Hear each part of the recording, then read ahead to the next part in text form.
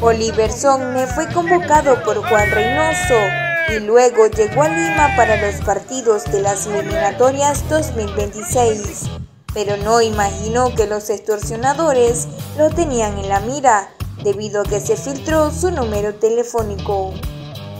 La organización criminal llamada Los Lagartos del Terror tenía en la mira congresistas. En la lista de estos delincuentes estaba también Oliver Sonne, futbolista de nuestra selección nacional, indicó el reportaje del programa Domingo al Día.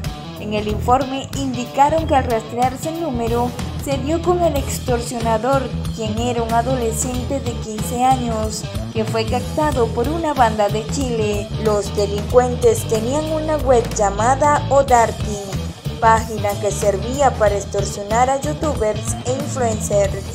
Los hinchas cremas quedaron en shock al ver el gran parecido entre Oliver Sonne y el máximo ídolo de Universitario de Deportes, Lolo Fernández.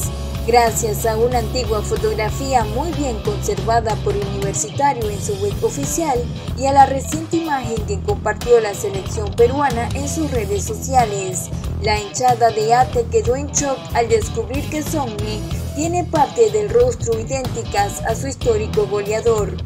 La selección chilena está en búsqueda de nuevo director técnico tras la renuncia de Eduardo Berizzo, pero ya tendría casi descartado a Ricardo Gareca por una advertencia de la Federación Peruana de Fútbol. Ya descartaron al Tigre Gareca. La Federación de Fútbol de Chile, cuando ya estaba complicada la situación con Eduardo Berizzo, hizo consultas a la Federación Peruana desde Perú llegó la información de que la situación económica en que quedó la Federación Peruana de Fútbol tiene que ver mucho con cierta distancia que se tomó con Gareca, una situación muy parecida a la que quedó Chile con la salida de Jorge Sampaoli, indicó el periodista Marco Escobar para Días por Chile.